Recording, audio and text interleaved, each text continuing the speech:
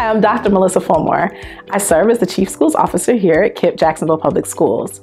One of the most exciting parts of my work is working with our school leaders as they grow their schools, as they grow their leaders, and as they grow their teachers to be able to serve all of our KIPPsters. So next year, we'll be even bigger than we are this year. We'll be adding 10th grade to Bold City High School. BCA, Bessie Coleman Academy, will be adding their eighth grade, which makes them our first fully loaded K-8 school. Voice, the newest school on Golfair, will be adding seventh grade, making them a K7, and Impact will be moving to 103rd and they will become a K2 6-8 school for next year. The goal is to have three fully staffed and fully populated K8 schools in the next three years so that all three K8s will feed into KIPP Bold City High School.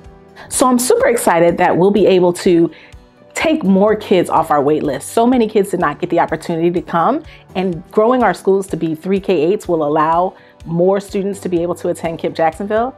In addition, there's just the economies of scale that will allow more professional development, more opportunities for field trips and partnerships with the community, and just a bigger footprint to serve more families in North and West Jacksonville.